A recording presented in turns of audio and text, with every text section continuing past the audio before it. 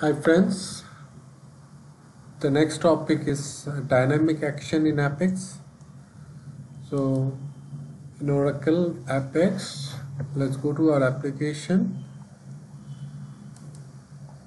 In the department form, suppose we create a button. So item create button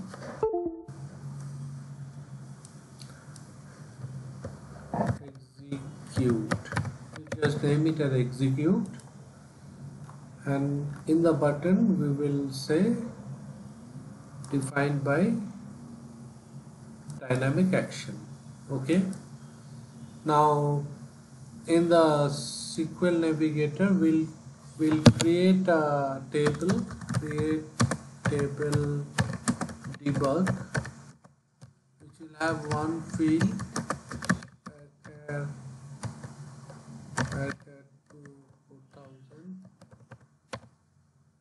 so we'll create this table.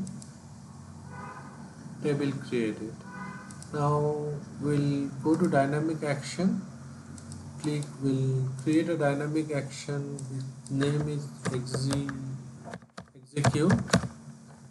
And in the true action we'll say execute PL SQL code.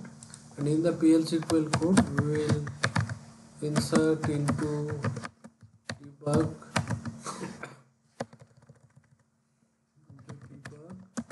Values.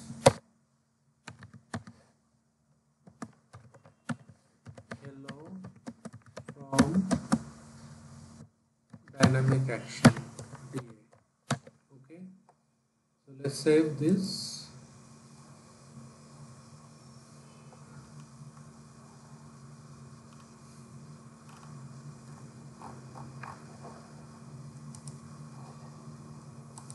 button and we have to select the button.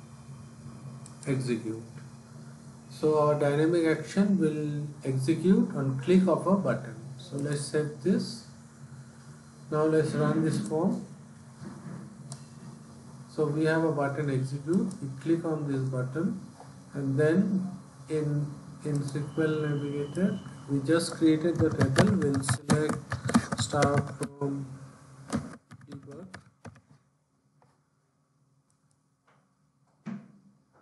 so hello from DA so that is printed.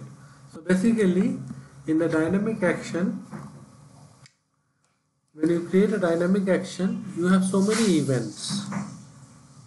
Like change click double click double tap get focus key down key press key release lose focus mouse button press mouse button release mouse enter mouse mouse enter mouse leave mouse move page load page unload pan press resize resource load scroll select swipe tap.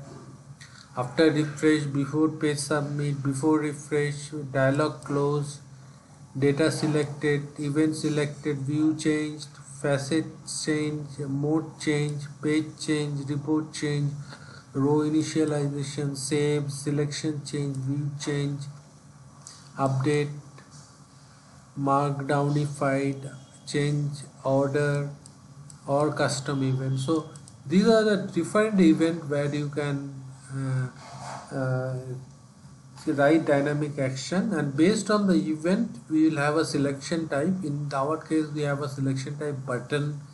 And then we have to select a button. Which button we have to uh, select so on click of execute button, we are executing PL SQL code.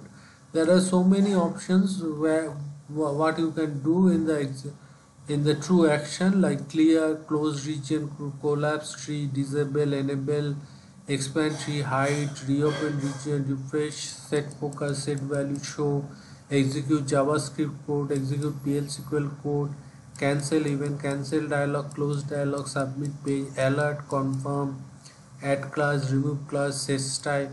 All this you can do in the action. And depending upon the action you have to write the PL SQL code or JavaScript code. So this is how you can create dynamic action in Oracle Apex. For any dynamic action uh, for any uh, action we don't have triggers in Oracle Apex but instead of triggers like in forms we have different triggers which uh, fire on a particular event.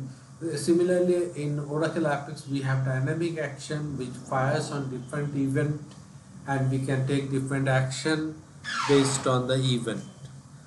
That's about dynamic action. Thanks friends. See you in the next session